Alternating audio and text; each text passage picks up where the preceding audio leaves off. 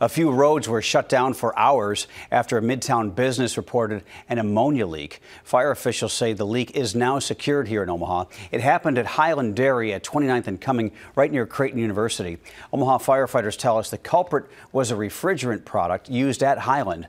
The source of the leak is under investigation. The road is back open this morning.